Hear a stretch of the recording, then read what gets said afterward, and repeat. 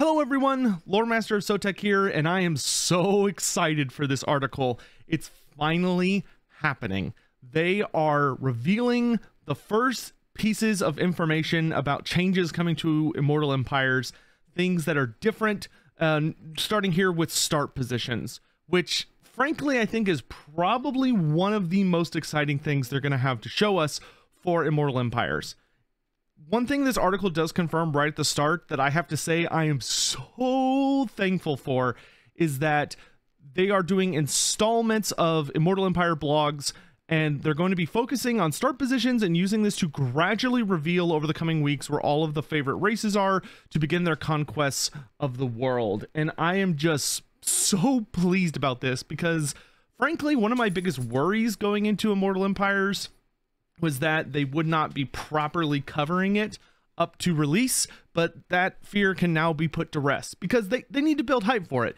They need to be doing what they can to put out articles showing off all the changes, showing off all the exciting new things. That way people can talk about it and we can all chat about what we're most excited about, what we want to do first, and it just really builds up the community's excitement for the game so that when Immortal Empires finally drops, you know, it'll be the gates bursting open, everyone just going out to have a really great time. So I am really, really excited to get into this, and I'm not going to waste too much time.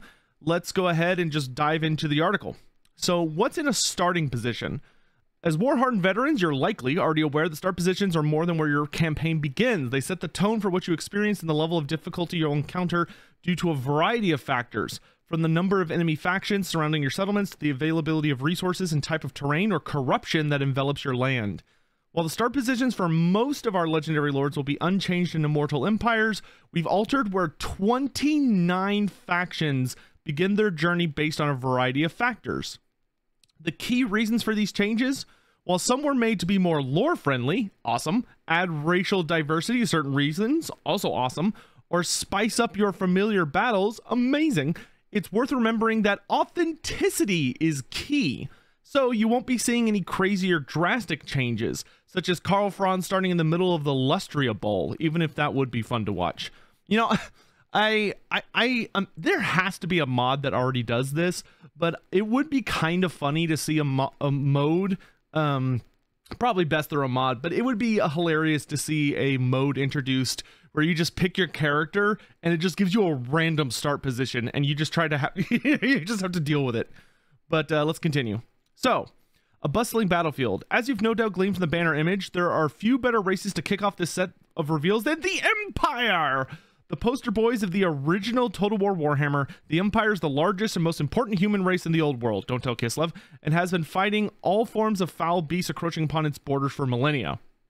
Karl Franz, it wouldn't be the Empire without an emperor. Karl Franz continues his ambitions to unite the Elector Counts from the starting settlement Altdorf. Balthazar Gelt. The supreme patriarch of the colleges of magic continues his own fascination with alchemy from the starting settlement of Pfeildorf, so he's where he was. Markus Wulfhart. Leading his motley crew of warriors known as Wulfhart's Hunters, the Huntsmaster continues his expeditions within the danger- dangerous jungles of Lustria, starting in the settlement of the Creeping Jungle, which I believe is a slight change, though with Lustria being redrawn, I am not 100% sure. And then Volkmar the Grim.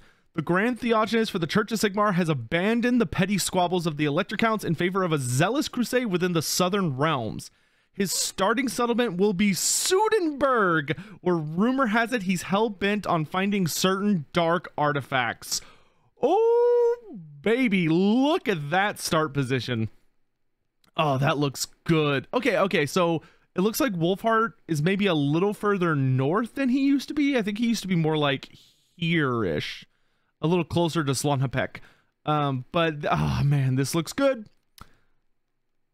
Ugh the Church of Sigmar. I I am so down for this. I I love that Sudenburg finally has an Empire character.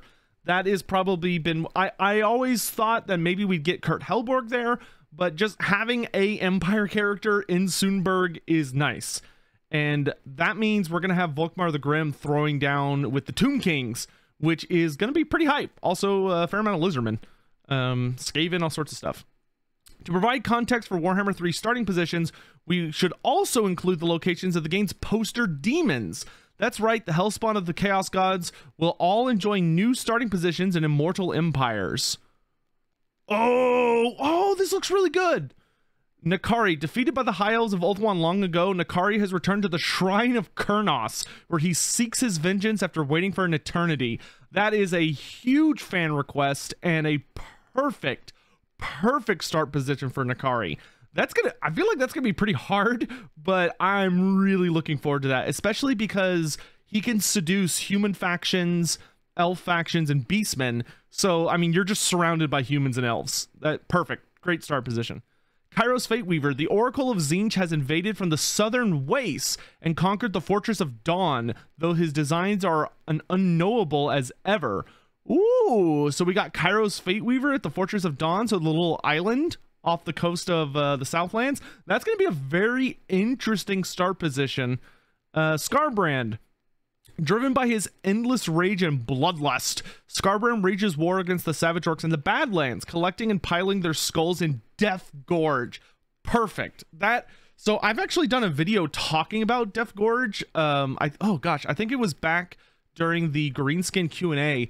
And Death Gorge is literally like this endless fighting pit essentially, where greenskin tribes are constantly competing with each other to be the tribe that controls Death Gorge, which is obviously an orky way of saying Death Gorge. Uh, because there's so much death, there's so much fighting there.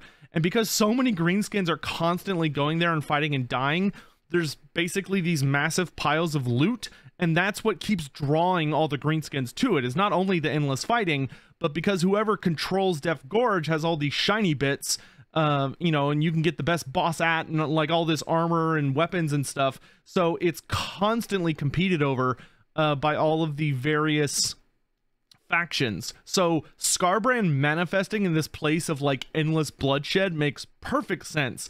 And I cannot wait to see Skarbrand running around the Badlands just punching orcs in the face constantly. Uh, it's going to be really, really fun to face the uh, play the characters near him because uh, Skarbrand's got a pretty heavy amount of enemies um, in that uh, that initial ballpark. I mean, you got like Queek Headtaker is going to be nearby. Uh, Thoric Ironbrow's a little ways south. You got like Settra the Imperishable is like right down here. Uh, you're gonna have Khalida over here. Kroq-Gar probably somewhere, uh, unless he's moved. Uh, Wurzag should, will probably still be in Ekrund. We might still have Grimgor up here uh Thorgrim Grudgebearer, like there's a lot of good baddies. Um that they're not crazy close to him, but they're decently close to him. Um I imagine if you're playing Malagor, you're gonna be like, let's go the other way, not start a fight with the demons. But uh that's fantastic. I Skarbrand throwing down in the Badlands, I think is perfect. Ku'gath Plaguefather. Ku'gath has sailed from the southern waste, drawn by the putrid sludge near the mouth of the River Ruin. That is a settling nearby in Dragonfang Mount within the Dragon Isles. So first of all, that's a really, really cool lore explanation of why Ku'gath has crossed the Sea of Dread to the uh, the uh, Dragonfang Mount. Because so the River Ruin is where I, I think I can zoom in a little here. The River Ruin, uh, which is right here, the mouth of Ruin, you can see is the name of this province um, is where the uh, Chaos Dwarfs dump all of the like toxic waste and sludge and everything from their uh, from the forges, um, most notably of Zharr-Naggrund, because Zharr-Naggrund, the River Ruin flows through it, and they dump all their refuse and stuff into there, and it flows all the way down, and even picks up some other nastiness. Uh, usually when it's passing uh, near the uh, the Black Fortress and the Tower of Gorgoth. So it is it's a nasty nasty thing when it finally reaches the ocean. So Ku'gath being drawn to that, I think makes perfect sense because he could probably make some really nasty new plagues if he got his hands on that. And uh, Dragonfang Mount will be a nice start position for him because you've got that unique building there that I think everyone has access to um, that gives just a ton of money. So that'll be really cool, um, especially because with Ku'gath, uh, the better economy you can have, the better. Uh, and then the Demon Prince. The Demon Prince moves to the Forest of Decay in the Northern Chaos Wastes, allowing him to compete for the ultimate leadership of chaos. I wonder what that means. I wonder, mm, I'm curious what that means, for for to say compete for the ultimate leadership, I feel like that's implying he's going to be fighting for like I want to be the big boss in charge. And when I think big bosses, I think Be'lakor and Archaon. So maybe the Everchosen is somewhere here in the far north, and so is Be'lakor. Uh, personally, I'm really hoping we get Be'lakor in either Mordheim or Albion because those are kind of his two really, really famous um, locations for his story. Is that those are areas where he managed to manifest himself and become like a really big pain in the ass. But Archaon could show up damn near anywhere and it would be fine because Archaon has traveled the entire planet. So it'll be really interesting to see what they're going to do there. And, uh, hmm, interesting. That's all the start positions we'll be unveiling today, but we'll be revealing the starting locations of all 86 lords on our social channels over the coming weeks. While some of these will have relatively minor but exciting changes like the Empire, others will see several factions jumping to entirely new pastures. And we have a list of everybody that is showing up. So next is Lizardmen, Norsca, Kislev High Elves, Bretonnia, Grand Cathay, Skaven, Greenskins, Ogre Kingdoms, Beastmen, Tomb Kings, Wood Elves, Vampire Coast, Dwarfs, Dark Elves, Vampire Counts, and Warriors of Chaos. Now, if they're smart, they probably ordered this where the least exciting are at the top and the most exciting are at the bottom. Maybe they mixed it up a little bit, but I'm kind of expecting that as the further we go down the list, the more crazy and cool the changes are going to be. All right, next week we're offering an inside look at Be'lakor and the other new dedicated factions coming to Immortal Empires. Ooh, dedicated factions.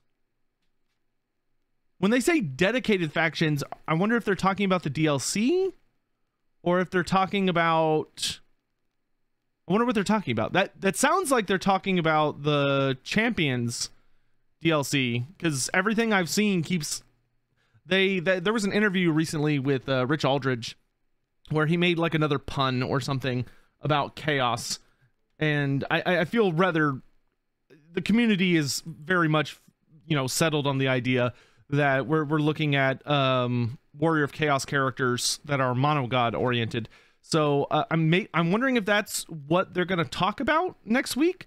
Um, i i would not be against that. I would love that reveal. Um, but that, that seems like a weird thing to hint towards. But i am very excited to see Be'lakor i will say i am I am really, really hoping that Be'lakor will be the second Demons of Chaos character because I love the Demons of Chaos, but I would very much like to play them without Prince Yuri. You know, I, I would love to play them with a traditional character, with a traditional tech tree, with access to unholy manifestations, um, you know, and, you know, be really focusing on that pure demon goodness. Uh, but we'll have to wait and see. Um, but overall, I I'm extremely happy with this article. Um, this is a fantastic first showing. Um, the the demon the the demon factions. I am so pleased. I am so pleased. The, the Ku'gath surprised me. I personally, I think I was expecting Ku'gath to remain relatively the same, um, to stay up near like the bloated marshes or Skull Road or something.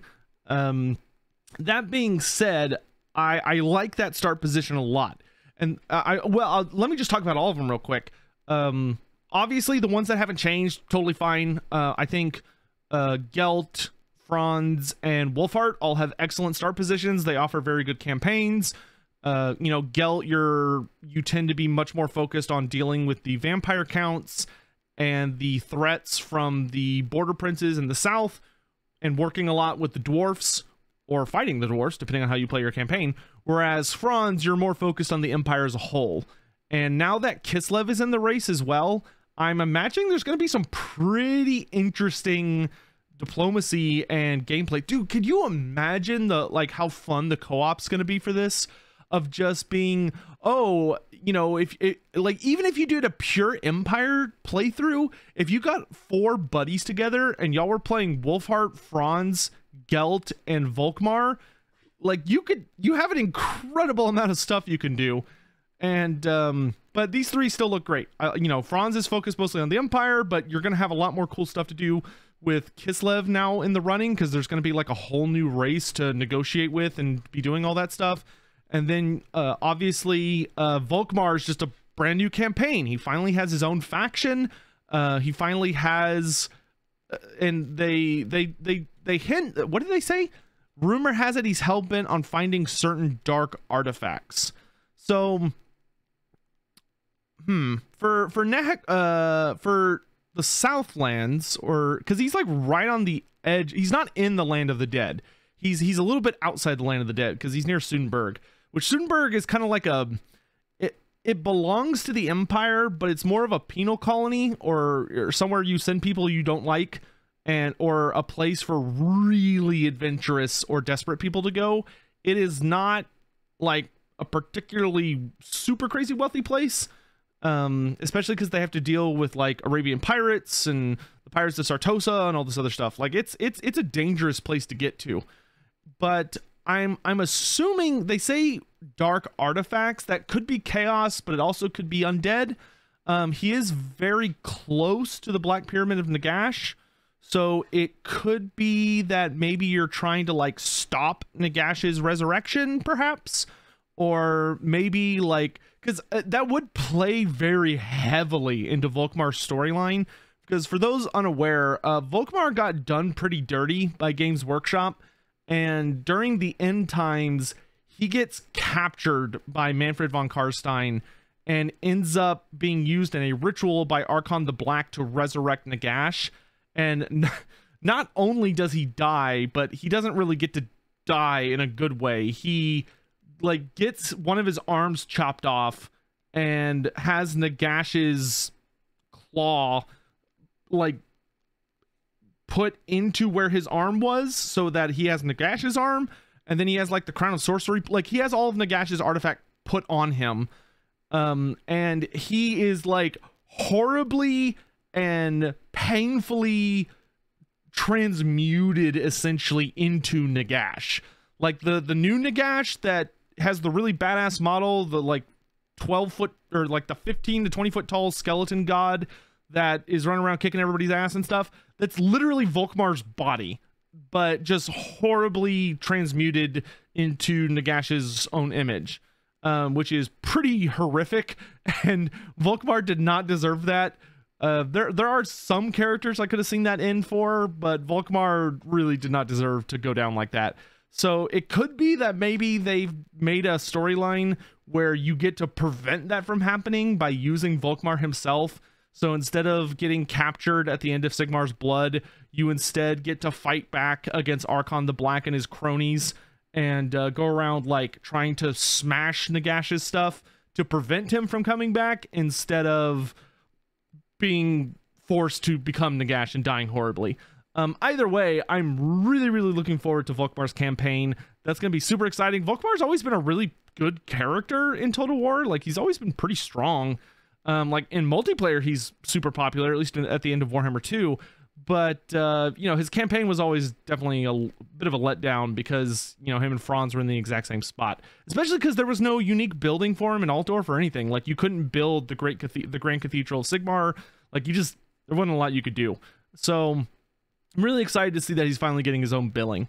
And then for the demon characters, uh, personally, I'm super incredibly satisfied. Uh, I think Prince Yuri, having retreated to the far distant north to really make a name for himself and to start gathering followers and power, that makes way more sense. Him retreating all the way to the Chaos Waste, because you know that Katarin, like the second she would have found out about him, the Kislevites would have been like, that guy needs to die. Like he needs to go down. So he would have need to run really far away. Like, and plus he was transformed to a demon prince in the Chaos Waste. Like I'm, I'm not hundred percent sure if this is close to where he actually was. Um, presumably in the storyline, he went more like this way. Like he he went up the Skull Road and then either made it to the Blood Marshes or Bloodfire Falls.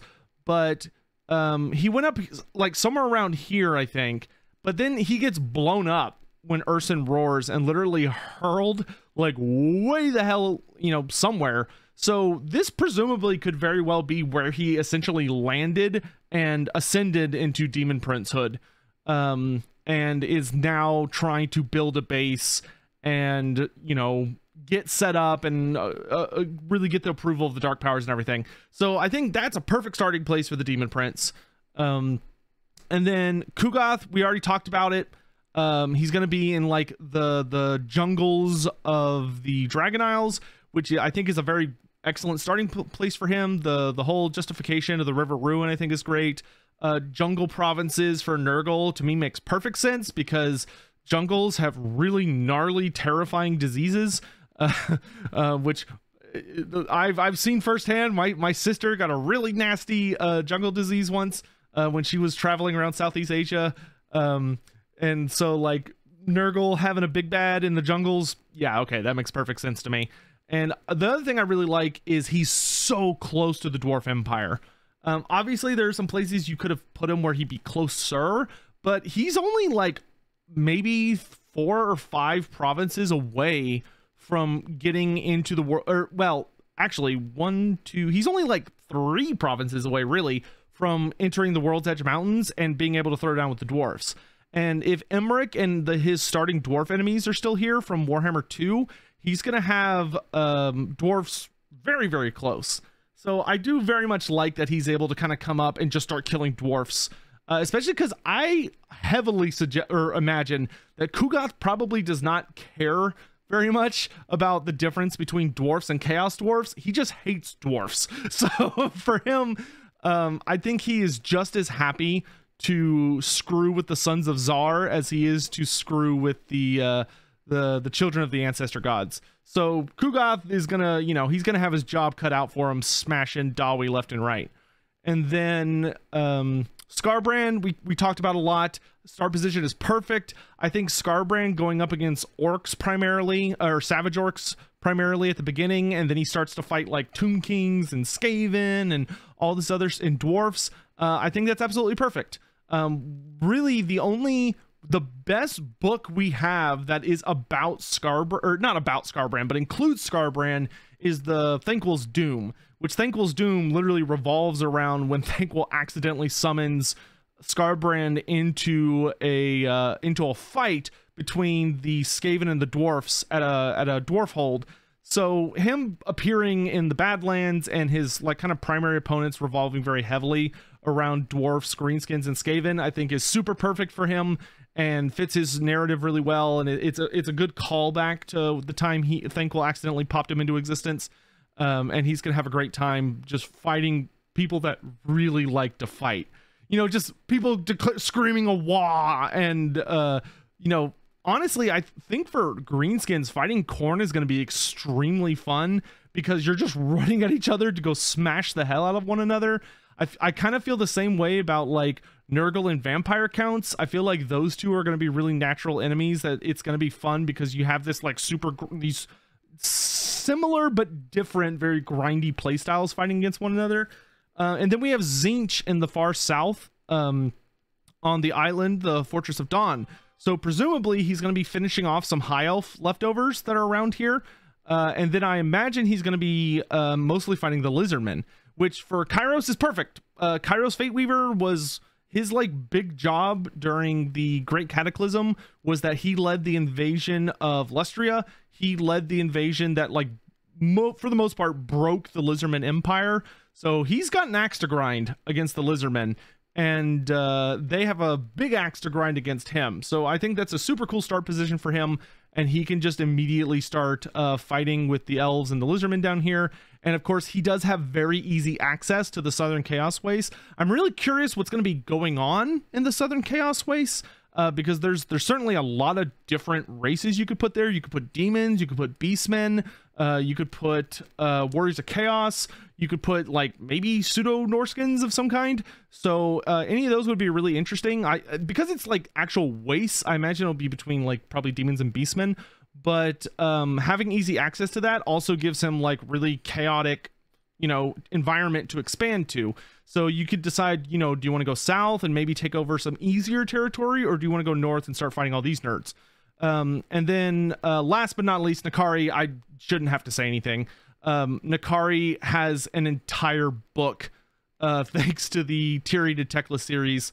Um, actually, no, he has multiple books that are about him fighting Tyrion and Teclis in Ulthuan. He is, if you include the end times, N'Kari has invaded Ulthuan three freaking times, which is crazy. He invaded it once when they were kids, and he wiped out the line of Aenarion with only like a very few number of survivors. Then he, inv- uh, then uh, Malekith summoned him and basically not imprisoned him, but um, enslaved him, I guess you could say, and used him as basically like a hunting dog to try and kill Alarielle and Tyrion, which he nearly succeeded. Uh, and the Wood Elves even got involved that time. And then the third time he invaded Ulthuan during the end times, where he was finally killed um, for realsies, apparently, by uh, Tyrion and Teclis in the very, very end.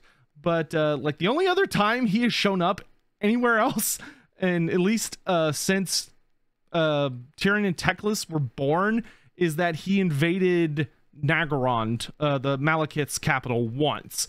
Um, but other than that, like he he gets around, uh, or sorry, he does not get around. He's he is a very attentive lover, so to speak. So uh, him being an Ulthuan, I think, is absolutely perfect. But yeah, that's all the characters. Uh, like I said, I'm extremely excited for this. I'm really glad that they don't seem to be holding back on placing characters in really exotic places and really allowing us to experience the full breadth of the world. I mean, just with this image alone, um, we have almost a full scatter across the planet. Um, it's it's interesting to see Kairos brought away from Grand Cathay. Personally, I think this is a is a more suitable starting fight for him, especially because he's the only demon character that's close to the Chaos Waste. But uh, I, I, am very curious who who Cathay is going to have as kind of their primary opponent. Um, over here. But because uh, you you imagine they're gonna have some pretty nasty baddies.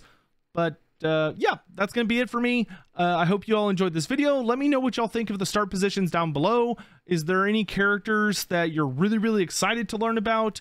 Um, what do you think they're going to do with Be'lakor? I, I'm really excited to see what they're doing going to do with Be'lakor. I I will say I am prepared to be disappointed with Be'lakor, but I'm also very excited to see Be'lakor because, like I said, I really do want him to be the second Demons of Chaos character. I think he would be perfect for that. Um, but at the same time, the Demons of Chaos are missing a lot of features. Um, like you know, they don't have a tech tree, they don't have all this stuff, and it would probably be a lot of work to create that for him. Um, so maybe they'll do something different, but you know, I have my hopes. Anyway, thank you all so much for watching. That's gonna be it for me today um, at least for now. And uh, yeah, last thing is if you haven't already, if you're someone that um, is supports me on Patreon, which if you do, I really appreciate and love your face, um, be sure to drop by because I actually put up something really, really cool. Um, there's a bunch of projects that are actually coming to fruition. And as things finish, I am throwing them up on there so y'all can get early access and check them out. Let me know what you think. Anyway, that's going to be it for me today, and I'll see y'all next time. Bye bye.